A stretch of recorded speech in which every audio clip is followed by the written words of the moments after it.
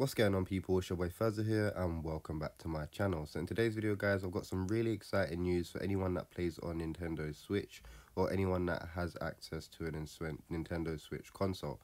So basically guys, if you guys do own a Switch, you lot can enter the Switch Cup for Japan, which is pretty much in Asia servers. And basically, as you guys can see here, it says people who play a Fortnite on Nintendo Switch in Japan can play for a tournament and get free rewards. So obviously, if you get total of 20 points, you guys will unlock every single reward, which you guys can see right here. In a second, I will show you guys all the rewards. But basically, for one point, you get a spray. 10 points, you get a harvesting tool and a spray. And for 20 points, you get um, outfit, back bling, harvesting tool, and a spray. So pretty much everything. Here's everything which you guys get. The back bling is the dark hatchling. Uh, the skin is the Dark Tricera Ops, really amazing skin.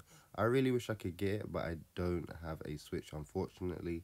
The pickaxe is the Squid Striker, really nice pickaxe in my opinion. And then we also get a weapon spray, which is called the Cab Llama. So quite a lot of rewards and pretty easy to acquire. Let me know what you guys think about this, and let me know if you guys are going to be getting involved. Anyways, that's it for me. It's been your boy Furs. I'm out. Peace.